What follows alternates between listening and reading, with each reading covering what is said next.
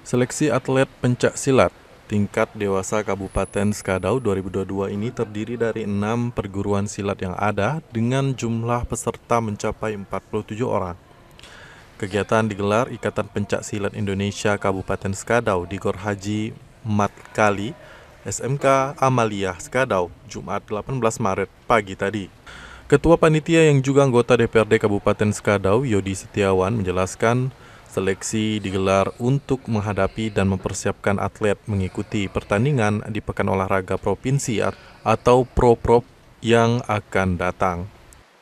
Perguruan yang mengikuti seleksi ini ada 6 perguruan dan 47 peserta ya. Hasil dari seleksi ini nanti setelah seleksi mana yang bagus nanti kita persiapkan untuk berlaga di Proprop ya untuk ya tujuannya untuk membawa nama Skadawal ya. Kalau target juara sendiri bang? Target juara ya kita harapan kita sekarang ini bisa memegang juara satu lah dari uh, seluruh kabupaten yang ada ya di, di Kalbar ini ya. Pada kesempatan ini, Wakil Bupati Skadau, Subandrio, menilai pencak silat merupakan salah satu cabang olahraga yang membawa harum nama Kabupaten Skadau sebab di tingkat Porprov lalu berhasil menyumbangkan medali untuk Bumi Lawang Kuari. Nah kita minta KONI ini segera berbenahkan.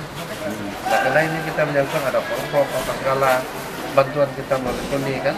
Nah ini kalau dia benar, kita mengharapkan dalam waktu dekat uh, provinsi uh, dengan kabupaten ini segera menggenap KONI ya, supaya semua cabang ini cabang-cabang ini bisa uh, lebih fokus ya mempersiapkan uh, latihan-latihan dan kemudian lebih fokus mempersiapkan atlet-atletnya itu bantuan kita adalah kan melalui itu kalau strategi lain Pak untuk bantuan seperti apa?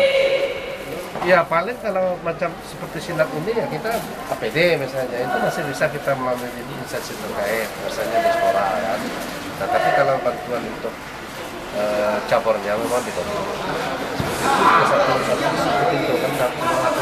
dalam kesempatan yang sama, Ketua IPSI Kabupaten Skadau, Apin, mengatakan seleksi ini sebagai ajang untuk persiapan Pro-Prof, di mana atlet yang berhasil lolos seleksi akan dibawa ke tingkat Pro-Prof pada bulan November yang akan datang. Ya, baik. Kalau untuk menyikapi timnas lakoni, uh, sebenarnya itu harus cepat kita ambil langkah. Artinya uh, caretaker ataupun panitia KONI dibentuk baru lagi. Uh, nanti barulah uh, bersinergi dengan semua pengcap. Jadi supaya agar uh, mempercepat KONI dibentuk. Supaya dengan KONI terbentuk adalah dananya kepada KONI agar bisa memberikan kepada semua pengcap-pengcap yang ada di sekarang ini agar bisa ikut semua ke Polprop ini. Hmm. Karena Polprop inilah ajang bergengsi, karena itu empat tahun sekali.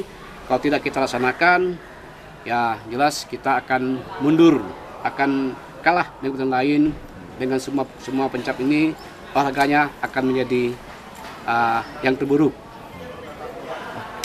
Atlet silat Kabupaten Skadau ada di semua kelas dengan jumlah 28 orang.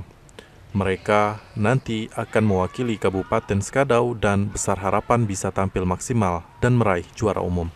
Dari Melawi, Musmusin memberitakan.